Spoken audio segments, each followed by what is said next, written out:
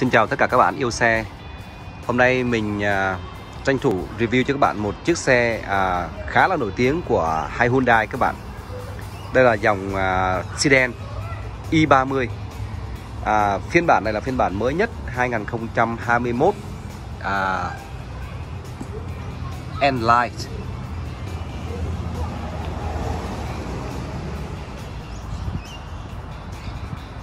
Đây là một chiếc xe rất là đẹp các bạn. Một cái mẫu thiết kế phải nói là hoàn toàn lột xác và rất là bắt mắt. À, Rất là trẻ trung Nhưng không kém phần sang trọng như các bạn.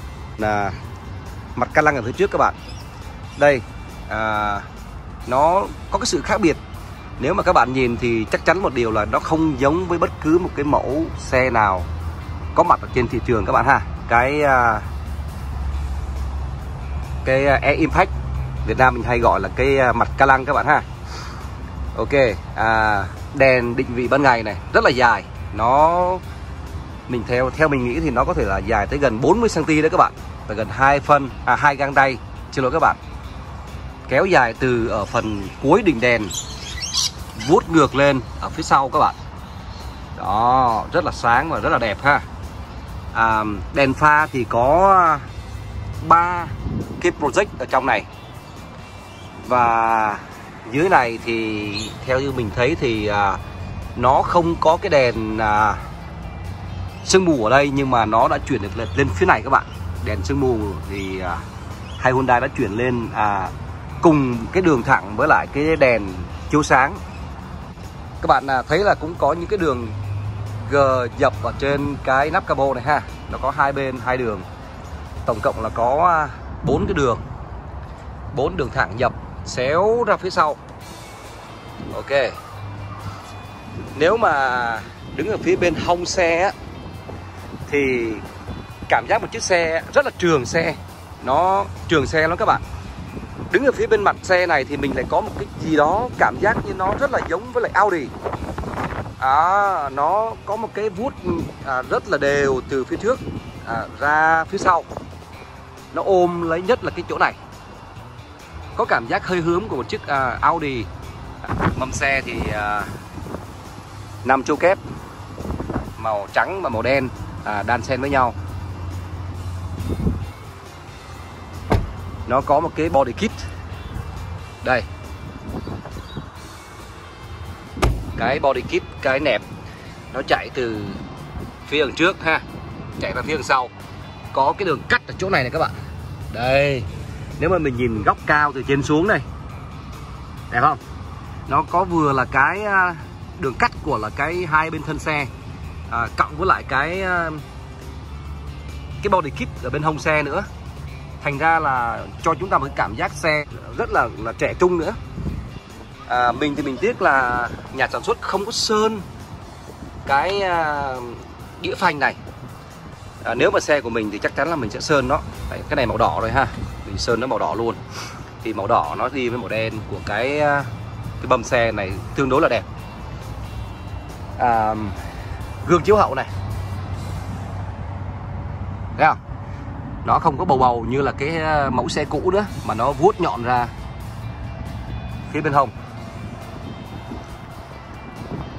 À, nếu như mà các bạn nhìn thấy trụ A với trụ B của chiếc xe á, thì các bạn thấy là chiếc xe này có một cái cửa kính à, rất là rộng rất là rộng các bạn. Thấy không? Này cửa bên trước này ha. Rồi cửa phía sau này cửa kính ở phía sau này. Rất là rộng nếu mà mình quay từ trong từ trong ra này các bạn.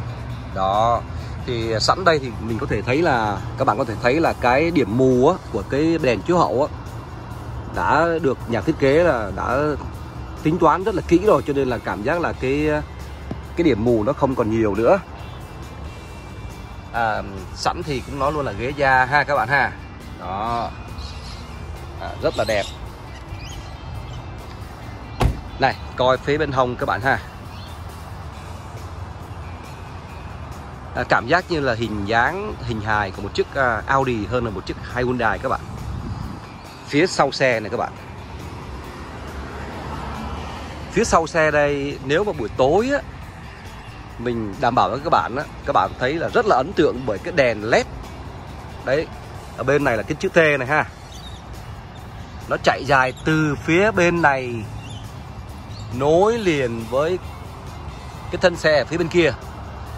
Tức là nó rất là dài các bạn có hơi hướng của một chiếc xe à Lexus IS 250 350 của à, hãng Lexus đó các bạn. Rất là đẹp. Tuy nhiên thì cái cốp xe này nó lại à, có một cái đường cắt rất là mà à, là ngẫu hứng các bạn. Nó không có thẳng xuống như là cái à, các cái xe khác. Mà nó rất là ngẫu hứng các bạn. Nó kết hợp với đuôi gió luôn. Thì cảm giác là rất là lạ mắt các bạn ạ. Nếu mà nhìn ở phía sau này nhìn tới á, thì mình sẽ không thấy cái đường cắt nó nhiều. Có thấy nhưng mà không nhiều ha. À, tuy nhiên nếu mà mình nhìn ở phía bên hông á xéo ở góc này này thì các bạn sẽ thấy là cái đường cắt này à, rất là rõ. À, cái kính tấm kính phía sau cũng rất là dài các bạn. Nó kéo dài xuống đây luôn nó không nó bo tròn xuống luôn nó vát xuống luôn nó vát xuống với lại cái cốp xe luôn các bạn. Đây đây là i30 các bạn ha. i30 của uh, Hyundai à, tất nhiên là có à, camera này. À, này bấm xe mở xe mở cốp xe ha. À, rất là lớn. Rất là khá là lớn. Rất đẹp các bạn. À, ống xả kép nhưng mà nó không nằm ở hai bên mà nó chỉ nằm một bên thôi. Hơi tiếc cái điểm này này các bạn. À, giá như à, hai Hyundai để cái ống xả kép nhưng mà chưa đều ra hai bên. Thì có phải nó đẹp hơn không? Hơi tiếc ở chỗ này. Đấy. Rất đẹp các bạn. Ok mình sẽ đi lên phía trước một chút xíu nữa ha. Rồi mình sẽ à, đi vào trong. À, mình sẽ mở cái đèn xem sao ha các bạn. Đây các bạn mình đang để cái chế độ đèn à, đèn cốt các bạn ạ. Đó thì uh, mình thì mình thấy là buổi tối á, thì nó đẹp hơn rất là nhiều. Ok bây giờ mình vào phía trong các bạn ha.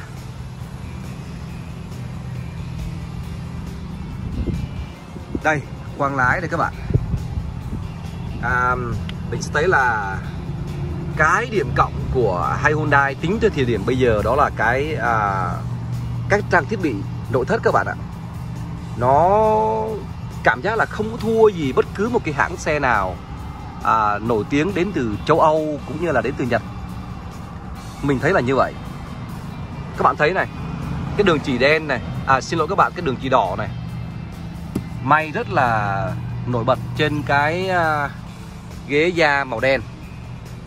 Thì cái phiên bản này chưa phải là phiên bản thực sự cao cấp vẫn chưa phải là phiên bản à, với đầy đủ các cái à, à, tính năng ví dụ như là ghế chỉnh điện hay là cửa sổ trời hay là như nào đó tuy nhiên nó đã à, rất là đẹp.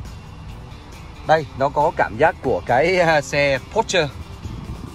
Đó.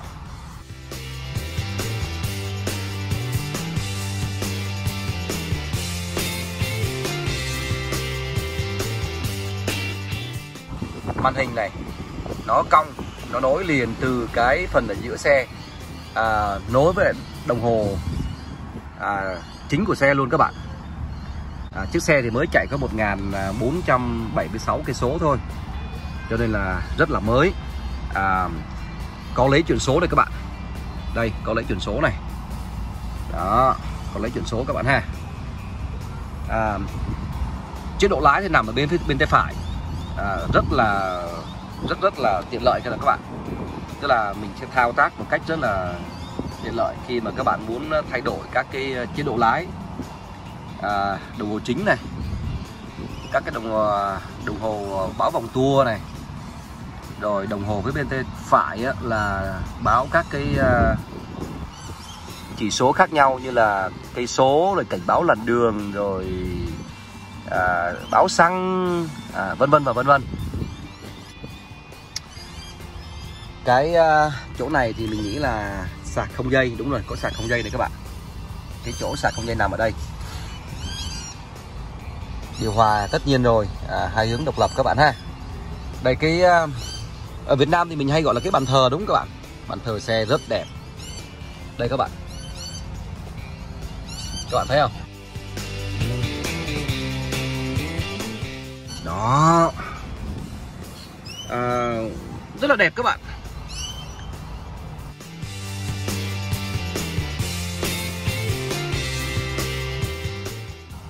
Đây nhìn qua cái cửa bên kia để các bạn thấy rõ hơn về cái à, cái nội thất da ở phía trong ha các bạn. Với lại cái đường chỉ màu đỏ này. À, loa thì nhà sản xuất nhà sản xuất không nói là loa hiểu đến từ đâu.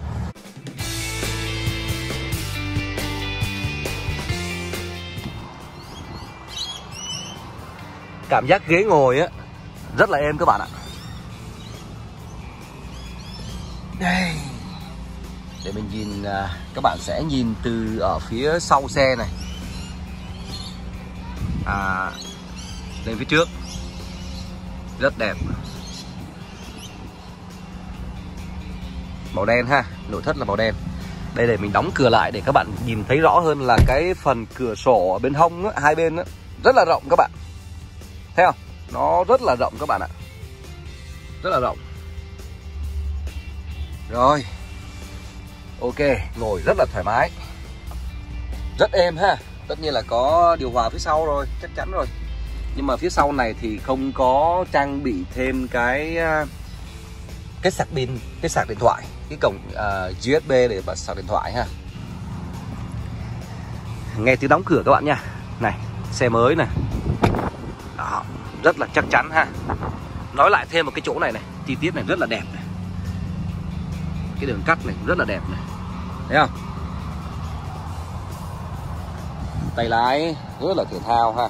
Êm tay lái thì nó hơi nhỏ. Mình thấy thì mình so với xe của mình ở nhà thì hơi nhỏ nhưng mà da rất là êm các bạn.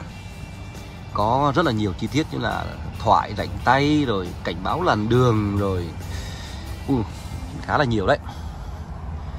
Hộp số này theo như uh, bác chủ xe thì bác có nói là hộp, hộp số là 8 cấp các bạn ha. À, màn hình cảm ứng. Ok mình qua phía bên kia nhé. À, chiếc xe rất là đáng yêu các bạn.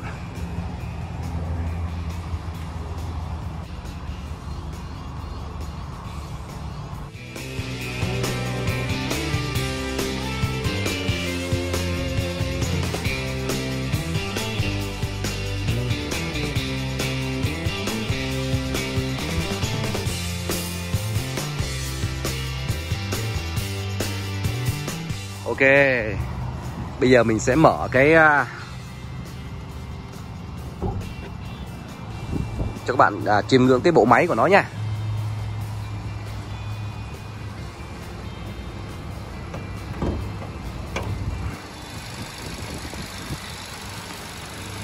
Máy rất là êm các bạn.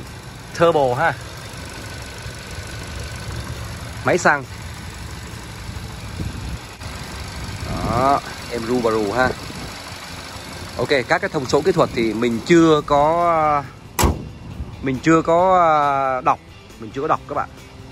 Mình chưa có đọc cho nên là mình không biết là bao nhiêu chấm. Đây, nhìn phía trước này các bạn. Để mình à, đá cái pha lên xem nha các bạn ha.